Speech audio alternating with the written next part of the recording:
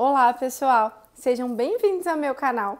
Eu sou a doutora Vivian Koski, eu sou oncologista e neste canal eu falo tudo sobre oncologia.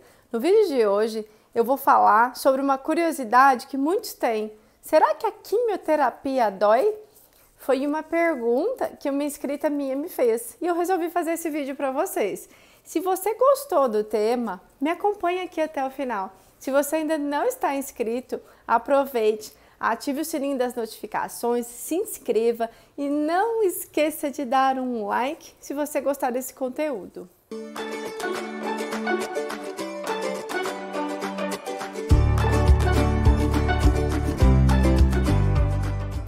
Essa dúvida é uma dúvida muito comum para quem vai começar uma quimioterapia.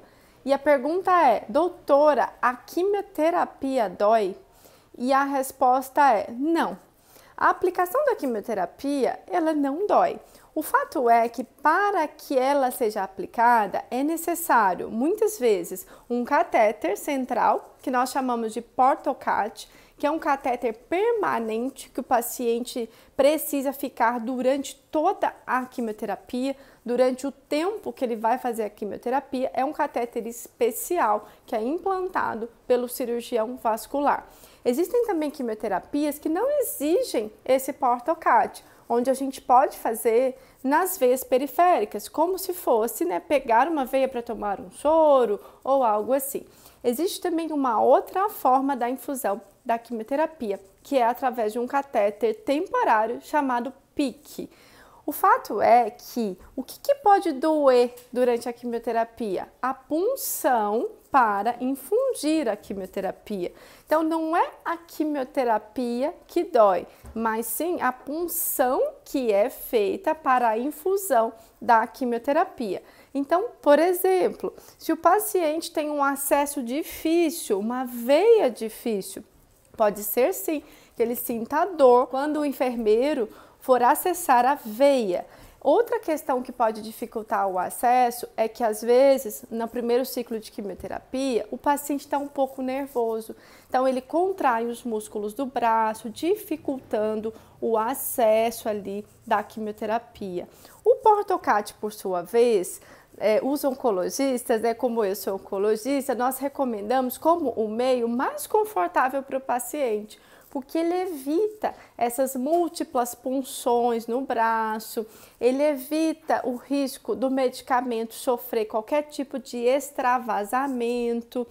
Porém, existe também a questão da punção do portocate, onde o enfermeiro responsável, equipe de enfermagem, vai pedir que o paciente faça uma respiração especial, então vai puncionar aquele portocard e antes dessa punção, anestésicos locais podem ser aplicados.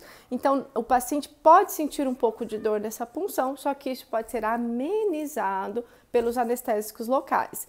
Então, isso de que a quimioterapia dói é um mito. O que pode doer na aplicação da quimio é a via de infusão. A quimioterapia, por sua vez, ela pode causar dor alguns dias depois. Do terceiro ao quinto dia, o paciente pode apresentar dores articulares, mas na hora da infusão, isso é um mito.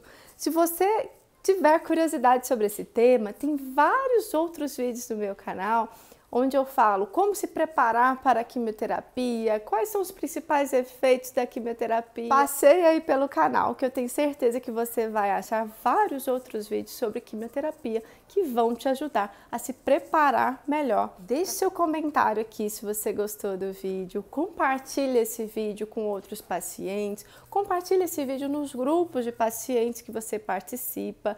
Não se esqueça de dar um like é, o YouTube é movido a likes. Quanto mais likes vocês deixarem aqui, mais o YouTube vai veicular essa informação que pode ajudar outras pessoas. Gratidão por estarem aqui. Até o próximo vídeo.